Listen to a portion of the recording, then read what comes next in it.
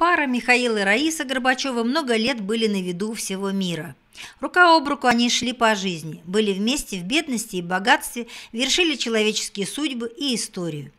И немногие задумывались, что за щитом публичности скрывались души двух любящих людей. Думала ли молоденькая красавица, комсомолка и студентка Рая Титаренко, что встреча со скромным студентом Мишей Горбачевым позволит ей в будущем стать одной из самых влиятельных женщин мира?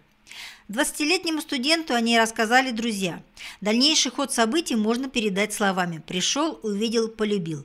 А вот сама Раиса не была в тот момент расположена к новому роману. Дело в том, что она сильно переживала разрыв с женихом, сыном влиятельных людей. Михаил Горбачев взял молоденькую студентку измором. Первые полгода он просто присутствовал в жизни третьекурсницы. Еще полтора длился нежный роман. Михаил ухаживал, всячески поддерживал любимую. Внезапное предложение он сделал во время прогулки по мосту, прямо у входа в Сокольнический ЗАГС. Просто предложил зайти. Она согласилась. Тут же выбрали дату 25 сентября 1953 года и начали готовиться к свадьбе. Студенты – народ небогатый, но веселый и смекалистый. Михаил Горбачев летом работал на комбайне, чтобы было на что отгулять свадьбу. Свадебное платье из белоснежного шифона невесте заказали у портнихи. Туфли невесте одолжила подружка, а колец и вовсе не было. Он надел ей обручальное кольцо лишь через несколько лет после росписи. На церемонию бракосочетания пришли только лучшие друзья, а родители Рая и Миша поставили перед фактом за несколько дней до назначенной даты. Поженились в сентябре, а первая брачная ночь случилась в начале октября, когда студенты, проживавшие в общежитии, уехали на работу в подшефный колхоз. Но на этом брачные торжества не закончились. В ноябре молодожены сыграли студенческую свадьбу. Все прошло скромно, но весело. В диетической столовой неподалеку от общежития. Гарниром к паровым котлетам были картошка и винегрет, а свадебным напитком водка столичная. Молодая жена совершенно не умела готовить, зато прекрасно танцевала вместе с мужем. После окончания института супруги уехали в Ставрополье, где началась карьера Михаила Горбачева. Семейная жизнь едва не обернулась драмой. Спасая жизнь Раисы, они потеряли ребенка. Михаил увез любимую жену на юг, врачи порекомендовали смену климата. Позже родилась дочь Ирина. После рождения дочери супруги получили две комнатушки в коммунальной квартире, и только в 70-м году чита Горбачевых получила отдельное собственное жилье. Карьера Михаила Горбачева шла в гору семимильными шагами. В ноябре 1978 года Горбачева переезжают в Москву.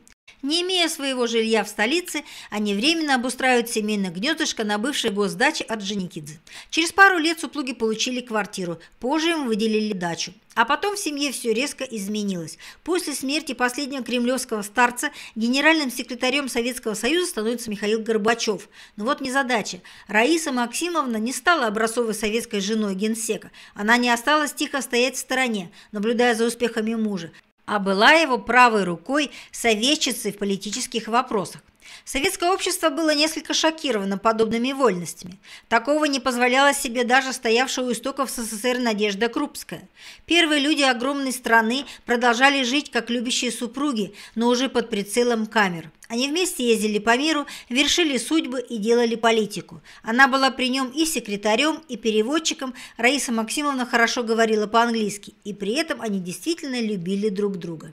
Смог бы Горбачев занять столь высокий пост и навсегда вписать свое имя в мировую историю без поддержки любимой жены? Это ей, дочери домохозяйки, не умевшей до замужества держать в руках сковородку и веник, пришлось нести на своих плечах бремя нелегкого советского быта, и при этом быть моральной опорой для продвигающегося по карьерной лестнице мужа. Это она была его ангелом-хранителем в момент пика политической карьеры. Будучи наделенной особыми талантами, Раиса Максимовна активно вмешивалась во внутреннюю и международную карьеру, но при этом оставалась элегантной женщиной, приковывавшей к себе взгляды. После отставки Михаила Сергеевича супруги жили вместе на даче. Они прожили вместе больше 45 лет. До следующей годовщины оставалось всего несколько дней. Но Раиса Максимовна не дожила. Покинула мужа в клинике от лейкоза.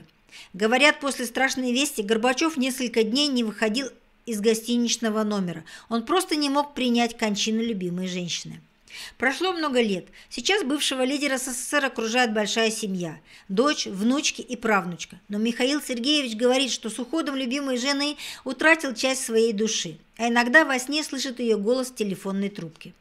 Михаила Сергеевича часто видят на Новодевичьем кладбище, где он навещает самого дорогого в жизни человека. Горбачев лично наводит порядок на могиле.